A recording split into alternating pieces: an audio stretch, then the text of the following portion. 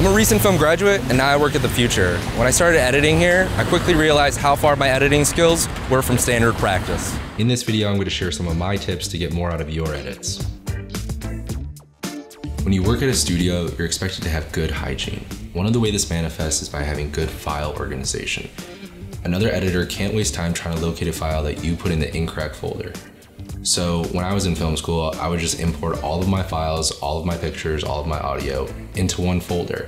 Can't do that here. It's chaos. Everything becomes chaos. It wasn't until I began working here that I began to practice good folder hygiene. Matthew and the team here are very good at organization. This is the current state of the file system here at the Futur. Everything has its own bin, everything has its own folder. That way, nothing gets misplaced. Because if something gets misplaced, it turns into chaos. That's not okay. Another little tip is to have a specific naming system for everything you do. That way you don't have any of this or any of this. Creative directors hate that. Don't do it. The next thing I learned how to do here was start a video. Whether it be a narrative piece or an informative video, you need to grab the audience's attention. What you don't want to do is this. See, that was 44 seconds of just pretty shots. You don't want to do that. A better way to start your video would be to show a mini movie in that first scene. Jaws is a really good example of this. You see, the expectation here is that she's just gonna go swimming, but that's not what occurs. We're getting a teaser of what the overall film will be about. So in Jaws, the movie's about a shark eating people. What do we see? We see a shark eating a person. That's why it's a good intro.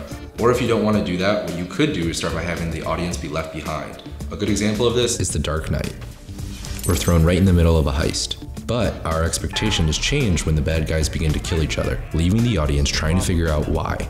We're already engaged from the first scene. That's why this works.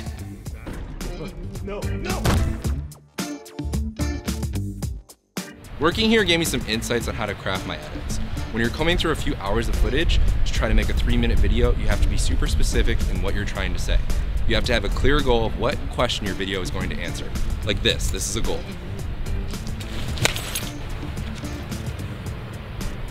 Okay, next is to lay out your video in some form. I use sticky notes. It's a good way to see if it flows or not. Then that way you can go through and see what fits and what doesn't fit. If it doesn't deliver to the overall goal, cut it. Like this, doesn't fit. Okay, to recap, make sure you get organized before you even start your video project. Number two, make sure you have a solid opening to really attract your audience. And three, make sure you have a clear goal so you know what the point of your video is. All right, guys, uh, don't forget to like, comment, and subscribe on this video so I don't get fired. And uh, if you want me to do a deeper dive on one of these, let me know, and then I'll let uh, Chris and Matthew know.